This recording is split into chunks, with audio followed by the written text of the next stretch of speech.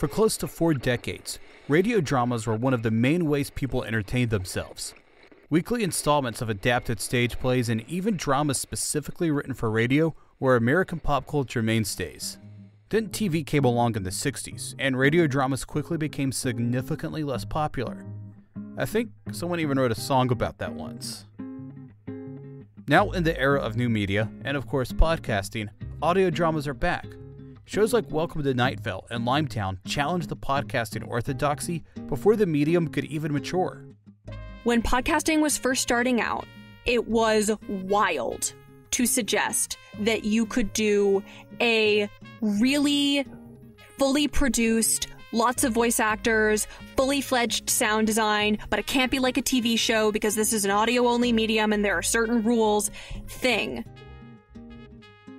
Next, you'll hear from an indie creator who makes audio dramas. They'll talk about their creative process. There's a frank discussion about money and a bit about crowdfunding. My name is Stuart, and this is Audience, a Castos original series. Speaking of funding, I did want to mention that Castos offers some great integrative tools for your podcast. For instance, you can create a subscription based podcast thanks to our partnership with Stripe. Using our new integrative tool, you can create a private podcast and accept payments directly from your listeners. There's no more clunky ad algorithms that don't actually generate income. No more middlemen taking a 30% cut. It's simply a direct payment from your audience to you. Easy. Learn more at castos.com or click on the link in the show notes. As we mature as an industry and as we begin to prove ourselves just like television did, just like film did, and just like the fiction novel did, that we are a place that is worth it to put money into, then we have to start thinking and talking about money like professionals. So, in 2017, Newt Schottlekote wrote their first audio drama when they were just 15 years old. It was called Inkwyrm, spelled with a Y, and it's described as being one part sitcom and one part space opera. The project ran for about three years and led to Newt now a college student based in Nashville, Tennessee, to start Caldera Studios, a place where they produce their own work, like their latest series, Where the Stars Fell. Newt is also the director of marketing for Fable and Folly, a network that helps fiction podcasters grow. Beyond that, Newt provides voiceovers and sound design on various projects, and they are senior producer at Better Lemon Creative Audio, working mostly with museums to create original content. Like a lot of people who work in this industry, Newt's fascination with audio began early on. I grew up in a very, very musical family, and there were two things that, we would always listen to on the drive to school growing up.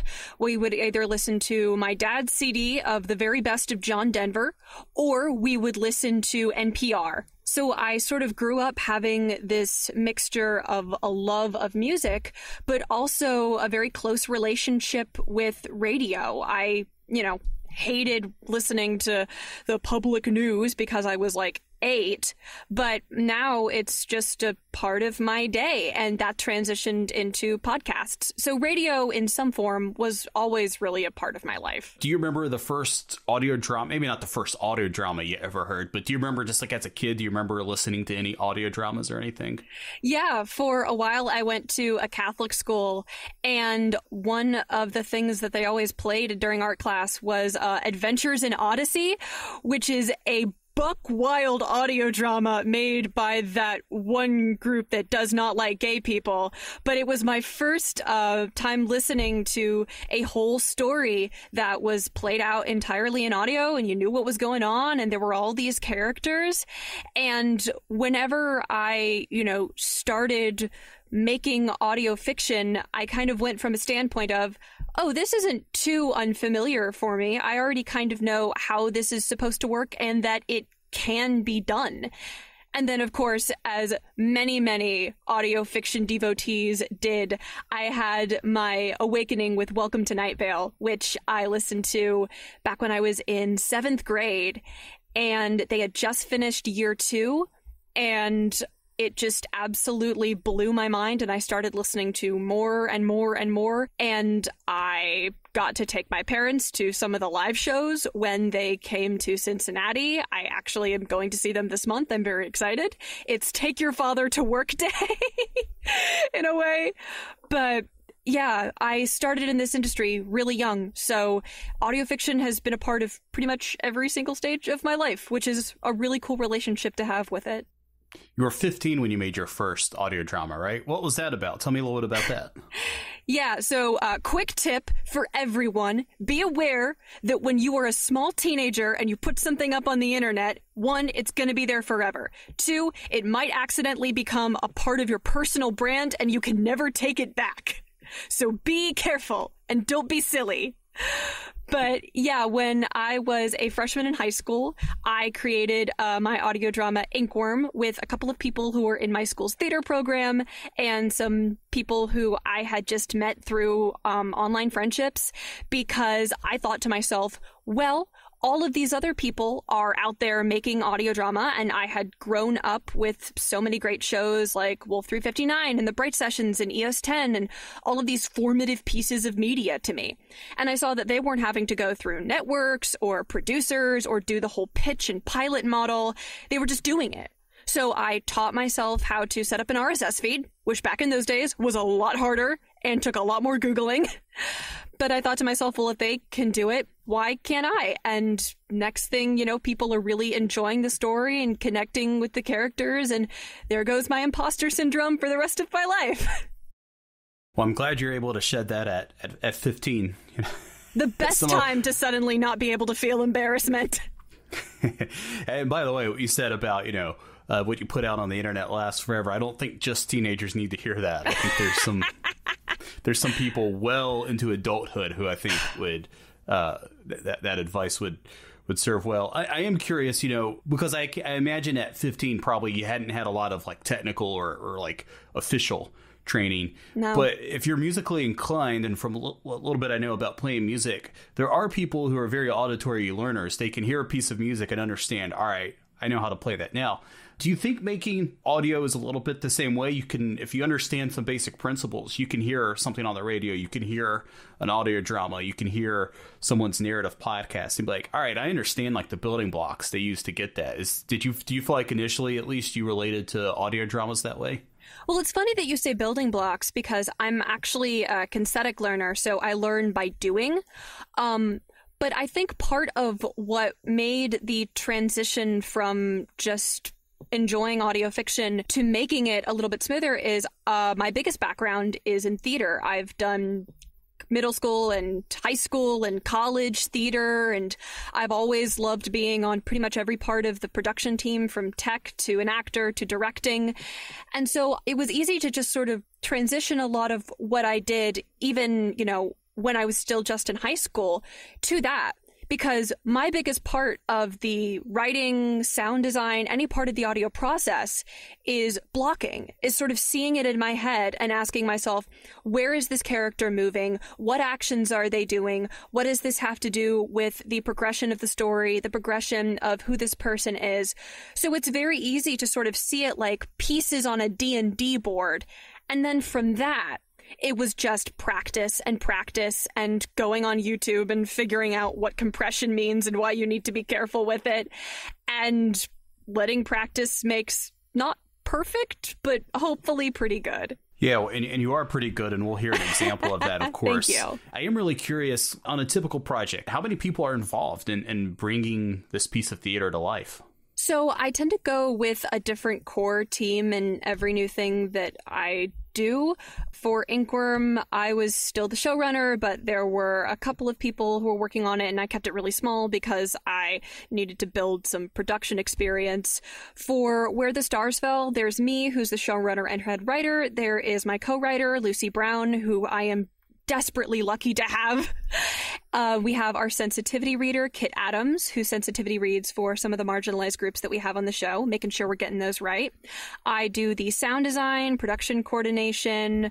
We have our cast of voice actors who are immensely talented and awesome. Uh, we have our show artist, Caitlin, uh, who sometimes gives us some nice updated graphics, and they're very talented. But I kind of handle most of the, I want to say, keystone roles, mainly because uh, for the first two seasons at least, this has been a primarily volunteer project because I'm a broke college student. And I wanted to make sure that the most time and labor and not fun parts of the whole process were done by me, who was willing to do it for very none pay. How many hours would you say go into to making an episode? Oh boy. Oh boy. Wow. It really depends because sometimes we'll have an episode uh, like the one uh, from the clip that you're going to play, which has is very dialogue heavy, which doesn't have a ton of huge set pieces, and then we have something like uh, a couple of episodes in season two, or the special that we're releasing this August, which have big action set pieces and combat and multiple moving parts. Probably the longest part is always going to be sound design because this is an audio medium and it encompasses so many parts of the storytelling. But I'm also very lucky that because we have the ability to do remote work nowadays, I can spread it out so that I have usually at least one person helping me in almost everything.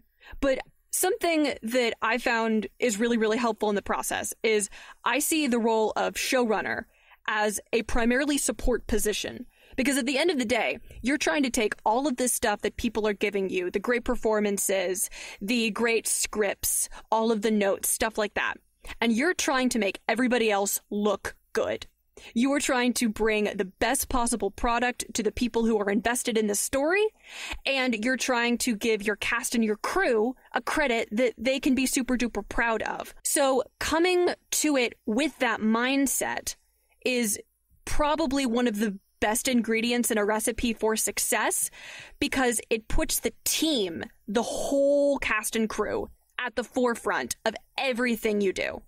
All right, we're going to hear this in practice a little bit. So, this clip that I have queued up here, you sent me.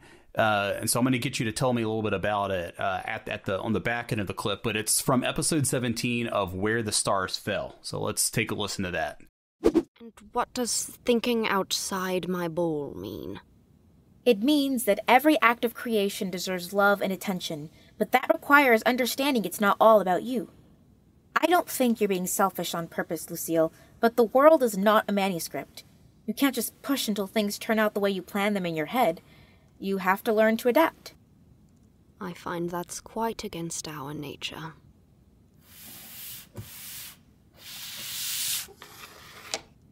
Maybe, but I've got a stack full of evidence right here that you're pretty good at taking edits. Red ink doesn't mean the story is bad. It means there's room for it to grow. Now, admittedly, I haven't listened to the entire series yet. I'm on episode three right now, but this seems pretty self-referential, right? Is this was this a kind of like a, a meta moment that you had put into the series? Because it, it feels like, without having a lot of context, that's what it feels like to me. Yeah, this is from an episode in season two where uh, one of our leads, Lucy, is sort of going through the process of figuring out the audiobook versions for her best selling fantasy series. And it's sort of going through explaining why they haven't been made yet and I sort of presented it like a, a, problem play where you've got two very different philosophies, both trying to come together in terms of the creative process, representation, and accessibility. Because one of the big themes that we talk about in Where the Stars Fell is identity and agency, specifically through our disabled characters. I'm physically and developmentally disabled, uh, so are Ed and Lucy. And that was something that I really wanted to talk about. And this episode is sort of our big thesis statement on that. So you heard uh, Lucy, who has the British accent, and Maggie, who has the American accent. Um, and they're both talking in that episode and coming to what I'm glad our audience found to be a very complicated but interesting conclusion. In a written piece for Medium, Newt makes the case for fiction podcast producers to pay their cast and crew fairly, something that might seem pretty obvious to a lot of people, but can be a bit of a taboo subject in a subgenre coming from such DIY roots. In their article, Newt quotes Tal Minear, another fiction podcast producer. Here's what they said Passion projects are great. Community theater productions are wonderful. Volunteer teams are perfectly valid. But it's important to remember that what you see as doing something for fun may, in fact, be seen by someone you bring on as doing something for work. Ultimately, audio drama is part of the entertainment industry, and folks wanting to pay more in line with that is not stopping you from producing your show. It means you have to work with your friends instead of hiring someone, or you might have to learn new skills on your own, or you might have to raise additional funds, potentially additional hurdles in making your audio drama, but not gatekeeping in the least.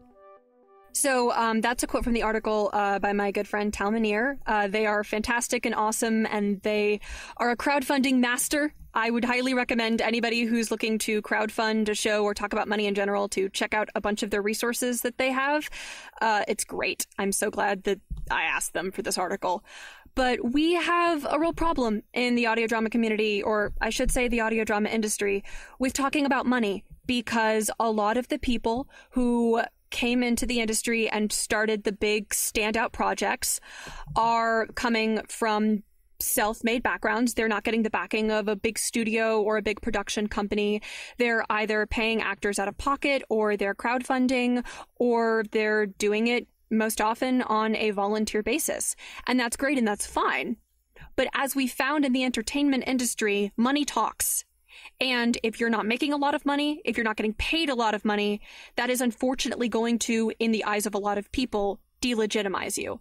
And there's also the issue of the fact that people need to make a living. They love to do what they do. And it's wonderful when you can do what you love and get paid for it.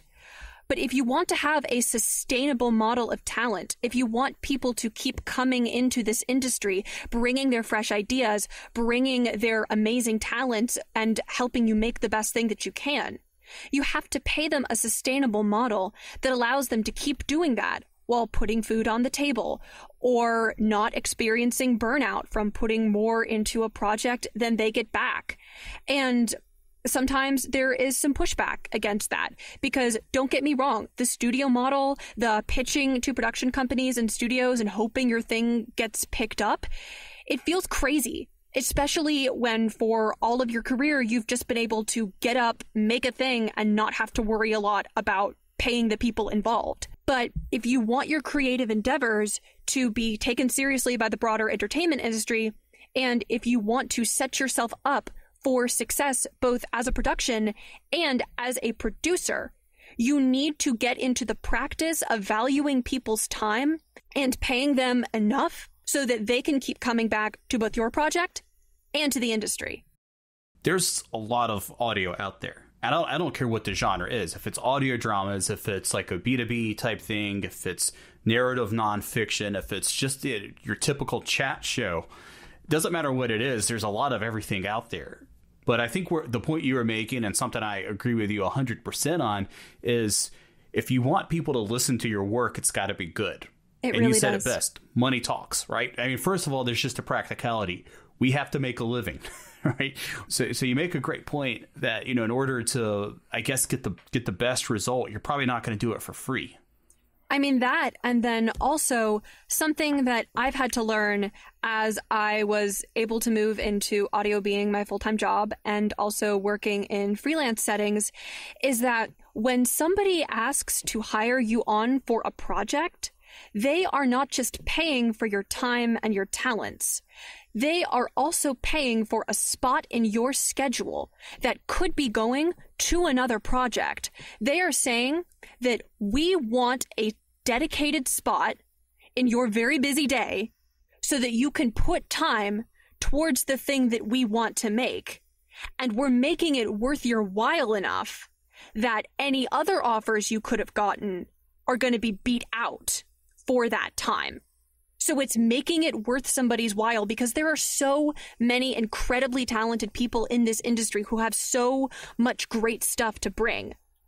But if they want to, like I said, put food on the table, be able to avoid burnout, to be able to keep doing what they're doing, they are going to have to choose the projects that allow them to do that.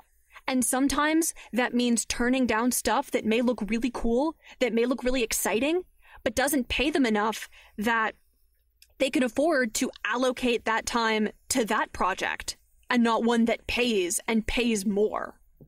Why do you think that money is kind of a taboo subject in audio drama? I believe somebody at one point on Twitter compared audio drama to the early DIY and punk scene, and they made like a really, really good extended comparison.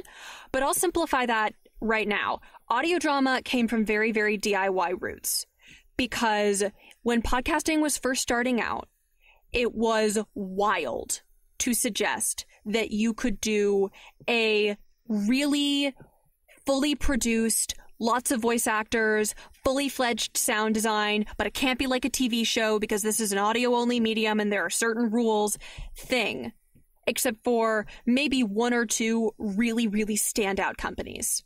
So a lot of the first content of audio drama from the folks at Night Vale Presents, from Kinda Evil Genius Productions, from Atypical Artists, all of that stuff was breaking new ground every single day, but also having to work at a deficit. And as more and more people sort of realized, oh, they're doing it, so can I, and came into the industry, more and more that precedent was set of, oh, for the most part, big companies don't want to sponsor audio drama. Big audio drama is never going to be a thing that's profitable. Audio drama is just a place to establish an IP so you can sell it as a TV show or make it into a spin-off, which is a mindset that I strongly disagree with. But it was this idea that if you wanted to make something long-standing and original in audio drama, you had to accept the fact that you were working at a deficit because it was always going to be seen as less than nonfiction podcasts. And that kind of caused people to just accept the fact that everything needed to be done for free. Everything needed to be done at a deficit. And it became this culture of, well, of course it's a, it's a volunteer show. We're just making something together that's, that's going to be fun. And like it says in the article, there's absolutely nothing wrong with that. Inkwyrm originally started out as a bunch of high school students making something that they had fun with and were really proud of. And I never, ever expected what happened with Inkwyrm to lead to where I am today. But as we mature as an industry, and as we begin to prove ourselves, just like television did, just like film did, and just like the fiction novel did, that we are a place that is worth it to put money into, then we have to start thinking and talking about money like professionals. And you said that it's a taboo subject. It's not just here. We don't like to talk about money as a society. I remember on International Women's Day, there was that Twitter bot that quote retweeted companies talking about feminism with their gender pay gap. We need to not just as a community, but as a society get better and more okay with talking about money. But in terms of audio drama, talking about money means that people get paid fairly. There are whisper networks. I'm I am so grateful to all of the people who I have told what I'm getting paid for a job and they're like, "Yeah, you're being exploited," or "No, you need to raise your rates," or "You should definitely ask for more." Because when we talk about money, we do not allow ourselves to be taken advantage of. If you were a creator, the number one way that you get taken advantage of is by silence, is by not knowing any better, by not knowing that you can and should ask for more. When we talk about money in audio drama, it's not just saying that people deserve to be paid fairly. It's not just saying that this is an industry that is worth larger companies' time and investment. It's saying that we need to create a culture where what we are being paid is out there, that there is nothing that needs to be hidden. Because that means that if we can all talk about it, companies can't get away with saying, oh, well, you're only worth this much, and I can prove it because there's nobody saying otherwise. It is it is a wider problem. They they always say like the ethos of like not talking about your salary actually isn't really good for anybody except for you know the the people who own the company because they can take advantage of people, particularly you know groups who are already marginalized. To your point, you're speaking about groups who are already marginalized. Part of the reason that audio drama is having to ask ourselves, hey, we say that we're a really diverse industry of creators, but is that 100% true? Is that if you are able to produce your show at a deficit, if you are able to continue doing that, and if you are able to make space in your daily life for something that is so severely not your job, then you are probably at at least a little bit a position of privilege. And when we make this a sustainable industry, when we make it so people can get paid and make this what they do and support themselves, then we can invite creators from marginalized groups who may not have the privilege of just being able to throw money or throw lots of time at something that's going to be a deficit. And that helps bring more diversity and more unique voices and more, at the end of the day, good and interesting stories into the industry. How? How do you fund some of your projects, if you don't mind me asking? Audio drama, getting money to make it is a is a very very long and complicated subject. I uh, I'm actually working on a mini series that's a how to for younger audio fiction creators because I started out really young, and we've had so many people coming into the industry who are on the younger side, and this takes up an entire episode because it's a lot to talk about but was also really, really fun to write. So I'm going to paraphrase a little bit here. There are a couple of ways to get money to make your audio drama. There is the obvious, pitch it to a bigger studio, pitch it to a bigger network, go to some place like just for example, Realm, and go through all of the avenues and the channels and say, here is my show, here is my pitch deck. Do you want to give me money to make it? That's a lot like the studio model. Then there is saving up all of your pennies and hoping that you can get ad revenue. Maybe you're part of a network and just making it at a deficit out of your own pocket. That's not an option for a lot of people. So the number one way that a lot of audio dramas are able to pay for themselves is via crowdfunding, using a platform like Seed and Spark or Indiegogo, running a campaign, and whether you're a new show or trying to make another season of an already existing show, asking your audience to essentially give you money to get the thing and also get a bunch of really cool rewards while you're at it. Now, there's a difference between crowdfunding for a returning show and crowdfunding for a brand new show in terms of difficulty. Because for a returning show, you've already got that built in audience. You can go on your RSS feed and be like, hey guys, we're trying to make a season three. Come and get some great stickers and rewards and all sorts of cool stuff. And in return, in several months, you will get another season of your favorite show. And that's great. That's so much of your marketing already taken care of. And that's the biggest hurdle, which is getting eyes on it. For a new show, however, it's a lot more difficult because you don't have that built in audience. And most importantly, in a medium where the pilot is going to be the biggest thing that sets you apart from the hundreds and hundreds and hundreds and hundreds of other audio dramas out there. And when, because of the DIY nature of the industry, there is a pretty wide margin of quality for what shows get produced as, you don't really have a way to tell people, hey, we're going to make a show and we pinky promise it's going to be really good. Just trust us. Like this is, this is giving money on the internet. We all remember all or nothing. So one of the ways that a couple of shows have found a way to really smartly put their money where their mouth is, is they create either at a deficit or with some other backing, a pilot. And the pilot goes up on the first day of the crowdfund. And what putting a pilot up with your crowdfund if you're a brand new show does is a couple of things. Number one, it gets the audience invested in the story and the characters and the world right off the bat. You don't have to be like, this is what it's going to be like. These are all of these characters. You don't know any of them yet. You don't know anything about them yet. You're not invested, but you will be. So you're already getting some of the advantages that crowdfunding for an ongoing show presents. And number two, it shows people right up front what the quality of the show is going to be the sound design, the voice acting, the production, the writing, all of it. You are now able to say with proof, if you give us money, we will make more of this, and this is really, really good. And number three, you get all of the promotional advantages of a series premiere, going to the press, sending out stuff to newsletters, maybe going on shows to talk about it, with also tacking on your crowd fund. So you can say, hey, brand new show alert. We're launching a brand new show. Come give us press. Come put us on your best new shows of October list and tack alongside it come and give us money to get more of this. So a lot of people are realizing that a pilot with your brand new show crowdfund is one of the best ways that you can ensure you actually get the money to make the show. You've done something very creative on Bandcamp. You've got some of your your songs available too. So uh, first, I want to actually play a little bit of the song. I know that you've been waiting on the cloud above my head, hoping it would fade along the darkness and the dread.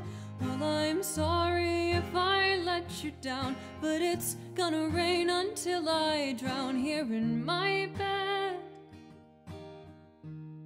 So, what's the name of that song? Uh, why, why'd you write it? And uh, yeah, it's it's really good. Thank you. Yeah, that is Cemetery from episode 15 of Where the Stars Fell, uh, which is a, it's a wild episode, and I promise all the other music we have up on Bandcamp is much happier. Pinky promise.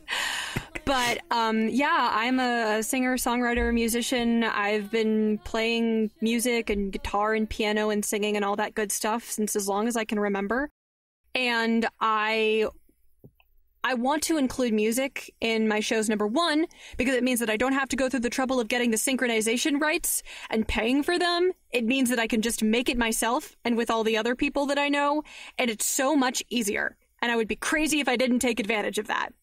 And number two, I think that putting original music in your shows is a great way to make it stand out. And it's a great way to give the audience a little something extra. Like, for example, this song plays at the very, very, very end of episode 15, which is a really heavy episode. And I wanted to make sure that we had something that played out that gave the audience time to sort of sit with the scene that they had just heard, but not in like a silence kind of way to something that would still hold their attention. So I think it was like two weeks before the episode was set to come out. I went into this frenzy of, oh my gosh, I'm totally inspired. I gotta make this. I recorded it in my bathroom, in the bathroom of my apartment with uh, my guitar, and I did all the bass guitar parts on guitar as well. And I sang it, and I mixed it together and put it up on the episode, and fans reacted really well to it. It's one of, I think, the most powerful moments in the series. Cause there's no silver lining, there's no starry night. What happened here was wrong. And then what I decided to do was even though the music is up on streaming services, I wanted to put the high quality thing that Spotify won't let you put up there because it's way too large file up on Bandcamp. So that if people wanted to support the show and get some really high quality versions of the music that we offer, there was a one time way for them to do that. And they got some great stuff out of it. And one of the other songs that we have up there, Here With You, from episode 18, um, I wrote and then co produced with Tyler Petty, who did the opening theme song for the show and who I made the uh, ending theme song with. And we're able to split the profits of that. And it's a way that, even though up until season three, which I'm hoping to crowdfund, is a way that I can at least give the people who are wonderful enough to help me make this show something for their time and their talents and their efforts. And obviously, I do feed my cast. I feed them very well. We also have a Patreon for the show where we offer stuff like episodes released a day early and with no ads because we run ads on the feed, or director's commentaries for all of the episodes with me and somebody who worked on the episode, and we just go through and listen to the episode and give behind the scenes facts. We talk about what went into making it. It's really great. We have bonus content like short stories and a really fun series that I did during season two called hashtag Lionsgate, which is just group chat logs from uh, a group that a bunch of the characters happen to be in. Uh, we have a perk where if you give enough a month, you get like a personalized message from one of the characters. And we've had some really great and funny requests on that front. And it's a way for fans to be able to support the show and again, gets more of what they love in return. And we've found that it's been really exciting to figure out okay what do we want to put there next i have a short story planned for pride month that i'm having to force myself not to write yet because i have to get work done but i'm so excited for it I imagine that the type of energy you get and the feedback you get and the engagement you get with your listeners, it's got to be pretty fueling, right? In Oh, terms yeah. of just like making you excited to to keep making. Well, it's part of what makes audio drama so magical in a way. If you talk to anybody who works um, in the ad field, if you ask Sean Howard, who's one of the co-founders of Fable and Folly and who is one of the best people to talk to about ads and audio drama, they will tell you audio drama listeners are engaged on another level than just regular podcast listeners because you're creating this whole world and story and image in your head. And so when you have that level of engagement, it is so much easier to connect with those fans. And even if you're not just running ads on a show or being sponsored by something, to give them more of what they already love.